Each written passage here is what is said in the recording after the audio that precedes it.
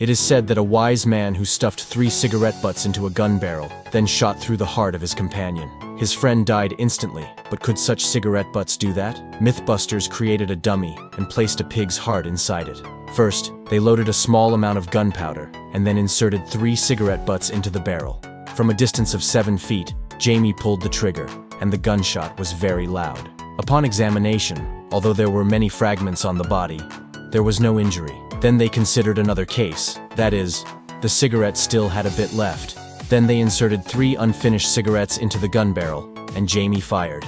This time, the dummy's body had a deep wound measuring 0.6 centimeter, but only bled slightly. Finally, they tried shooting at close range.